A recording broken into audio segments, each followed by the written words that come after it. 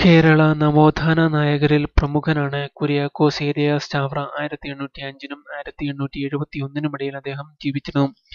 കേരള നവോത്ഥാന നായകരിൽ പ്രധാനിയാണ് കുര്യാക്കോസ് ഏലിയാസ് ചാവറ. ഒന്നിനും ഇടയിൽ അദ്ദേഹം ജീവിച്ചിരുന്നു. ആയിരത്തി എണ്ണൂറ്റി അഞ്ച് ഫെബ്രുവരി പത്തിന് കുര്യാക്കോസ് ഏലിയാസ് ചാവറ ജനിച്ചത് ആലപ്പുഴ ജില്ലയിലെ കൈനകരിയിലാണ്. അഞ്ച് ഫെബ്രുവരി പത്തിന് കുര്യാക്കോസ് ഇലിയസ് ചാവറ ജനിച്ചത് ആലപ്പുഴ ജില്ലയിലെ കൈനകരിയിലാണ്. ചാവറ അച്ഛൻ പുരോഹിത വൃത്തിയിൽ പ്രവേശിച്ച വർഷം ആയിരത്തിഎണ്ണൂറ്റിഇരുപത്തിയൊൻപതിനാണ്. ആയിരത്തിഎണ്ണൂറ്റിഇരുപത്തിയൊൻപതിനാണ് ചാവറ അച്ഛൻ പുരോഹിത വൃത്തിയിൽ പ്രവേശിച്ചത്.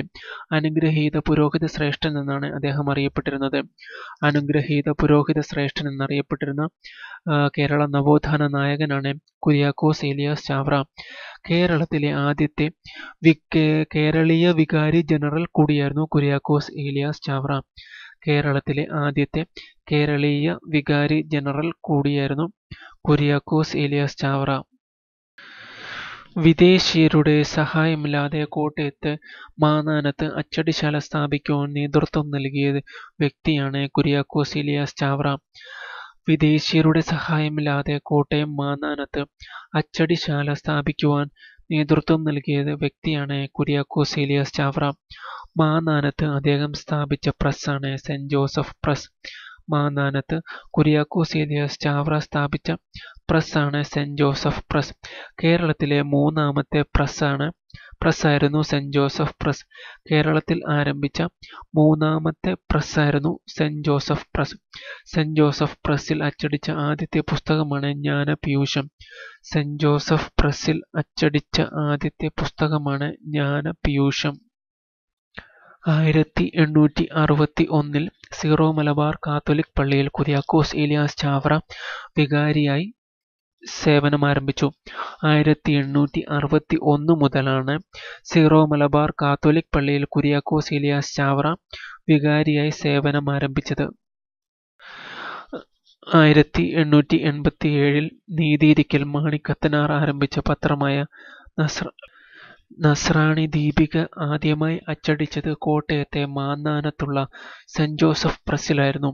ആയിരത്തി എണ്ണൂറ്റി എൺപത്തിയേഴിൽ നീതിയിരിക്കൽ മാണിക്കത്തനാർ ആരംഭിച്ച നസ്രാണി ദീപിക ആദ്യമായി അച്ചടിച്ചത് കോട്ടയത്തുള്ള മാന്നാനത്തെ സെന്റ് ജോസഫ് പ്രസ്സിൽ ആയിരുന്നു. കുര്യാക്കോസ് ഏലിയാസ് ചാവറയാണ് ഓരോ പള്ളിയോടൊപ്പം ഓരോ സ്കൂൾ എന്ന സമ്പ്രദായം കൊണ്ടുവന്നത്. കേരളത്തിലെ സ്കൂളുകൾക്ക് പള്ളിക്കൂടം എന്ന നാമം ലഭിച്ചത് ഈ പദ്ധതി മൂലമാണ്. ഓരോ പള്ളിയോടൊപ്പം ഓരോ സ്കൂൾ എന്ന സമ്പ്രദായം കൊണ്ടുവന്നത് കുര്യാക്കോസ് ഏലിയാസ് ചാവറയാണ്. കേരളത്തിലെ സ്കൂളുകൾക്ക് പള്ളിക്കൂടം എന്ന നാമം ലഭിച്ചത് ഈ പദ്ധതി മൂലമാണ്. കേരളത്തിൽ സാക്ഷരതയുടെ പിതാവായി അറിയപ്പെടുന്ന വ്യക്തി കുര്യാക്കോസ് ഏലിയാസ് ചാവറയാണ്.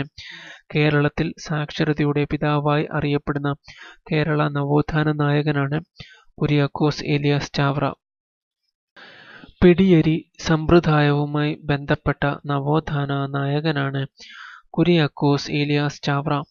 പിടിയരി സമ്പ്രദായവുമായി ബന്ധപ്പെട്ട നവോത്ഥാന നായകനാണ് കുര്യാക്കോസ് ഏലിയാസ് ചാവറ. സാധാരണക്കാർക്കു വേണ്ടി സ്കൂളുകളിൽ ഉച്ചക്കഞ്ഞി നൽകുവാൻ അദ്ദേഹം കണ്ടെത്തിയ മാർഗമായിരുന്നു പിടിയരി സമ്പ്രദായം. സാധാരണക്കാർക്കു വേണ്ടി സ്കൂളുകളിൽ ഉച്ചക്കഞ്ഞി നൽകാൻ അദ്ദേഹം കണ്ടെത്തിയ മാർഗമായിരുന്നു പിടിയരി സമ്പ്രദായം. ഓരോ നേരവും ഭക്ഷണത്തിനുള്ള അരി അളന്ന് പാത്രത്തിലിടുമ്പോൾ ഒരു പിടി മറ്റൊരു പാത്രത്തിലിട്ട് സൂക്ഷിക്കുവാൻ പ്രേരിപ്പിച്ച് ആഴ്ചയുടെ അവസാനം ഈ അരി ആശ്രമത്തിലെത്തിച്ച് പാവപ്പെട്ട വിദ്യാർത്ഥികൾക്ക് നൽകി. ഇങ്ങനെ നൽകാൻ അദ്ദേഹം ജനങ്ങളെ പ്രേരിപ്പിക്കുകയും ചെയ്തു. ഓരോ നേരവും ഭക്ഷണത്തിനുള്ള അരി അളന്ന് പാത്രത്തിലിടുമ്പോൾ ഒരു പിടി മറ്റൊരു പാത്രത്തിലിട്ട് സൂക്ഷിക്കുവാൻ അദ്ദേഹം പ്രേരിപ്പിച്ചു. ആഴ്ചയുടെ അവസാനം ഈ അരി ആശ്രമത്തിലെത്തിച്ച് പാവപ്പെട്ട വിദ്യാർത്ഥികൾക്ക് നൽകി. ഇങ്ങനെ നൽകുവാൻ അദ്ദേഹം ജനങ്ങളെ പ്രേരിപ്പിക്കുകയും ചെയ്തു. ഈ സമ്പ്രദായത്തിനാണ് പിടിയരി സമ്പ്രദായം എന്ന പേരിൽ അറിയപ്പെട്ടിരുന്നത്.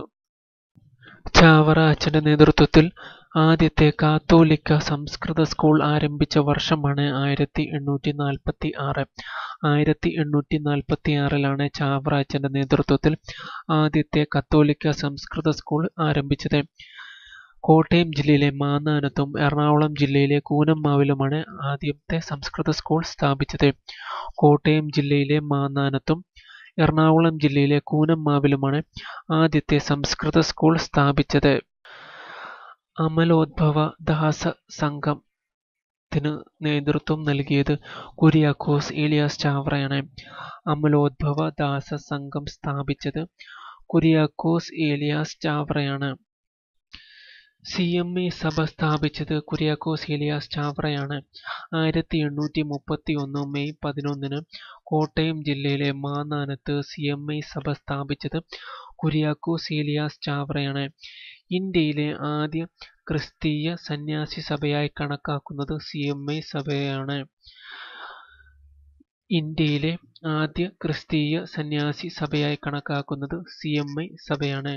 സി. എം. ഐ. സഭയുടെ ആദ്യ സുപ്പീരിയർ ജനറൽ ആയിരുന്നു Kuriakose Elias Chavara. C. M. I. സഭ ആയിരത്തി എണ്ണൂറ്റി മുപ്പത്തി ഒന്ന് മെയ് പതിനൊന്ന് കോട്ടയം ജില്ലയിലെ മാന്നാനത്ത് സ്ഥാപിച്ചത് കുര്യാക്കോ സീലിയ സ്റ്റാവ്രയാണ് ഇന്ത്യയിലെ ആദ്യ ക്രിസ്തീയ സഭയായി സന്യാസി സഭയായി കരുതപ്പെടുന്നത് സി. എം. ഐ. സഭയാണ്. സി. എം. ഐ. സഭയുടെ ആദ്യ സുപ്പീരിയർ ജനറൽ കൂടിയായിരുന്നു കുര്യാക്കോ സീലിയ ചാവറ. സി. എം. ഐ. സ്ഥാപനങ്ങളിലും പ്രവർത്തനങ്ങളിലും സി. എം. ഐ. യുടെ സ്ഥാപനങ്ങളിലും പ്രവർത്തനങ്ങളിലും ചാവറ അച്ഛന്റെ സഹായമായി നിന്നിരുന്നത് പാലക്കൽ തോമ മാൽപ്പനും പോരുകര തോമസ് അച്ഛനുമായിരുന്നു. സി. എം. ഐ. യുടെ സ്ഥാപനങ്ങളിലും പ്രവർത്തനങ്ങളിലും ചാവറ അച്ഛന്റെ സഹായികളായി നിന്നിരുന്നത് പാലക്കൽ തോമ മാൽപ്പനും പോരുകര തോമസ് അച്ഛനും ആയിരുന്നു. സി. എം. സി. എന്ന സന്യാസിനി സഭ ആയിരത്തി എണ്ണൂറ്റി അറുപത്തി ആറിൽ സ്ഥാപിച്ചത് കുര്യാക്കോസ് ഏലിയാസ് ചാവറാച്ചനാണ് സി. എം. സി. എന്ന സന്യാസിനി സഭ സ്ഥാപിച്ചത് ആയിരത്തി എണ്ണൂറ്റി അറുപത്തിയാറിൽ കുര്യാക്കോസ് ഏലിയാസ് ചാവറാച്ചനാണ് ആയിരത്തി എണ്ണൂറ്റി എഴുപത്തി ഒന്ന് ജാനുവരി മൂന്നിനാണ് കുര്യാക്കോസ് ഏലിയാസ് ചാവറ മരണമടഞ്ഞത്. ആയിരത്തി എണ്ണൂറ്റി എഴുപത്തി ഒന്ന് ജാനുവരി മൂന്നിനായിരുന്നു കുര്യാക്കോസ് ഏലിയാസ് ചാവറ മരണമടഞ്ഞത്. അദ്ദേഹം അവസാന നാളുകളിൽ കഴിഞ്ഞിരുന്നത് എറണാകുളം ജില്ലയിലെ കൂനമ്മാവിലുള്ള സെന്റ് ഫിലോമിനാസ് പള്ളിയിലായിരുന്നു. കുര്യാക്കോസ് ഏലിയാസ് ചാവറ അച്ഛൻ അദ്ദേഹത്തിന്റെ അവസാന നാളുകളിൽ കഴിഞ്ഞിരുന്നത് എറണാകുളം ജില്ലയിലെ കൂനമ്മാവിലെ സെന്റ് ഫിലോമിനാസ് പള്ളിയിലായിരുന്നു. വിശുദ്ധ കുര്യാക്കോസ് ഏലിയാസ് ചാവറയെ വാഴ്ത്തപ്പെട്ടവനായി പ്രഖ്യാപിച്ച വർഷം ആയിരത്തി തൊള്ളായിരത്തി എൺപത്തി ആറ് ഫെബ്രുവരി എട്ടിനാണ്. വിശുദ്ധൻ കുര്യാക്കോസ് ഏലിയാസ് ചാവറയെ വാഴ്ത്തപ്പെട്ടവനായി പ്രഖ്യാപിച്ചത് ആയിരത്തി തൊള്ളായിരത്തി എൺപത്തി ആറ് ഫെബ്രുവരി എട്ടിനായിരുന്നു. കുര്യാക്കോസ് ഏലിയാസ് ചാവറയെ വാഴ്ത്തപ്പെട്ടവനായി പ്രഖ്യാപിച്ചത് ജോൺ പോൾ രണ്ടാമൻ മാർപ്പാപ്പയായിരുന്നു. കുര്യാക്കോസ് ഏലിയാസ് ചാവറയെ വാഴ്ത്തപ്പെട്ടവനായി പ്രഖ്യാപിച്ച വർഷം ആയിരത്തി തൊള്ളായിരത്തി എൺപത്തി ആറ് ഫെബ്രുവരി എട്ടിനായിരുന്നു. പ്രഖ്യാപിച്ചത് ജോൺ പോൾ രണ്ടാമൻ മാർപ്പാപ്പ ആയിരുന്നു. ചാവറാച്ചനെ വിശുദ്ധനായി പ്രഖ്യാപിച്ച വർഷമാണ് രണ്ടായിരത്തി പതിനാല് നവംബർ ഇരുപത്തിമൂന്ന്. പ്രഖ്യാപിച്ചത് പോപ്പ് ഫ്രാൻസിസ് ആണ്. ചാവറാച്ചനെ വിശുദ്ധനായി പ്രഖ്യാപിച്ച വർഷം രണ്ടായിരത്തി പതിനാല് നവംബർ ഇരുപത്തിമൂന്ന്. പ്രഖ്യാപനം നടത്തിയത് പോപ്പ് ഫ്രാൻസിസ് ആയിരുന്നു. ചാവറ അച്ഛനോടൊപ്പം വിശുദ്ധയായി പ്രഖ്യാപിക്കപ്പെട്ടത് എവുപ്രസ്യാമ ആണ്. ചാവറ അച്ഛനോടൊപ്പം വിശുദ്ധയായി പ്രഖ്യാപിച്ച് പ്രഖ്യാപിക്കപ്പെട്ടത് എവുപ്രസ്യാമ ആണ്. ആയിരത്തി തൊള്ളായിരത്തി എൺപത്തിയേഴ് ഡിസംബർ ഇരുപതിന് കുര്യാക്കോസ് സീലിയാസ് ചാവറ ഇന്ത്യൻ തപാൽ സ്റ്റാമ്പിൽ ഇടം പിടിച്ചു.